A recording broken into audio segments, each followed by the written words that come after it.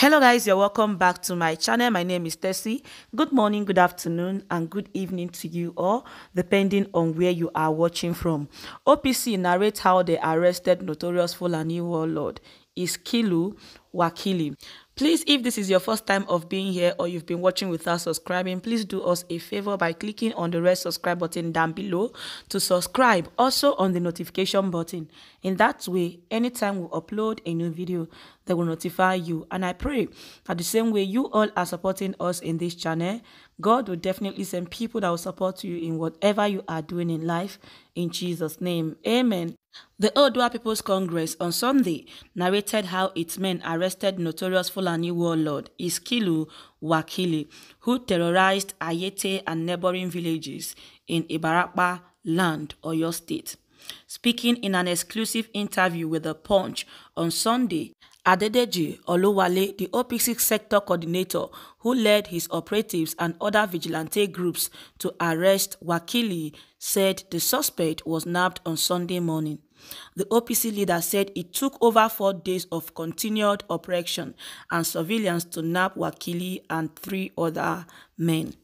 According to Oluwole, more than 10 OPC operatives went on the mission. He said Wakili's men shot fiercely at the OPC operatives before they were eventually nabbed. He, however, expressed shock that the police detained three of his men after they handed over Wakili.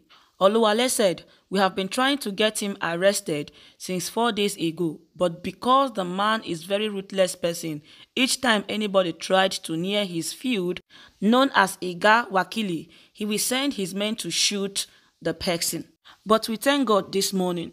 When we entered his field and on getting there, they started firing bullets at us. Immediately they sighted us. They started firing. But thank God we were able to successfully arrest him without harming anybody. Wakili himself was inside his house this morning when we got there. So we picked him because he is an old man. Three persons were arrested with him. We didn't see any woman there. They knew what they were doing they already took their wives and children out of the village. There were more men with Wakili, but as they sighted us, they started firing and fled at the same time. We recovered some of their cartridges. Oluwole, the Federal Capital Territory OPC coordinator, who is also an indigene of Ibora, said he relocated four months ago to Ayete to bring Wakili to book after state security agencies failed to arrest him. He added that, I am the state coordinator of OPC in Abuja, but I am an indigene of Ibora. I was born in Ibora and I grew up in Ibora. I am part and parcel of Ibarapa. When the problem started, I had to come down to the village to see how we can tackle the problem because this Wakili has raped some of my sisters and killed some of my parents. Some natives of the village have fled to Abeokuta and Lagos because of Wakili. I relocated to Igbo-Ora about four months ago when the police and the federal government didn't do anything about the security of our people. The OPC leader said Wakili and his men were not hurt in the operation and so wondered why the police detained three of his men. Nobody touched Wakili, nobody hurt him.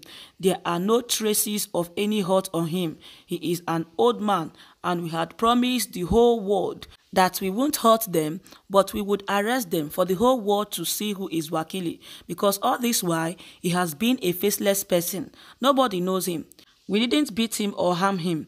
When we nabbed him, we put him inside a vehicle and handed him over to DPO in Igbo-Ora, whose name is Ajayi Mark. The DPO then said he got a signal from the CP, Commissioner of Police in Iyaganku. They have taken three of my men to Iyaganku now. When contacted, the police public relation officer in Oyo State, Olugbenga Fadeyi, did not respond to calls put to his line. A text message sent to his phone was also not replied to as of the time of filing this report. All right, guys, and uh, that is it for you all. This one is coming from the uh, OPC leader who narrated how they arrested this uh, Fulani, this notorious Fulani warlord, uh, Iskilu Wakili. And we have been hearing about Iskilu Wakili Iskilu Wakili with all his atrocious uh, acts in Yoruba land. We don't even know that he's an old man. So these people, instead of the police to commend them for doing what they could not do, they are condemning them. So this is the kind of country we have found ourselves. And I said it before that I posted the news and I said just one call from Abuja we settle the whole issue. Area go scatter, everything go just die like that. It seems as if I was joking, but where are we now? Is it not clear to us that this Fulani federal government, they are the one supporting terrorism? Now, these people has been arrested and charged for murder. Please, murder of who exactly? Maybe you haven't seen the news. I will leave the link on the description box. They said they were arrested and charged for murder and arson. Hmm. You see country? They see why they call, some people call this country zoo and some other people call it Banana Republic. Is Banana Republic not better than this one? Let's see how Nigerians are reacting it to uh, are reacting to this news. I'm gonna take some comments for you guys here, and uh, I will leave you to share your thoughts with me on the comment section. Someone here wrote, you arrested and hand over to police and now police arrested those that arrested the bandit. When will Yoruba people get sense? Someone here says, I read recently that the governor of the state have arrested those OPC members that arrested this terrorist, Wakili, Fulani herdsmen, and have taken the terrorist, Wakili, to the hospital. Kai, anyway, I trust Eastern Zone in Biafra land. By now, unknown gunmen could have been celebrating the down of one terrorist header. And someone here says, I watched the video when he was pretending, no matter what, Yoruba are not going back.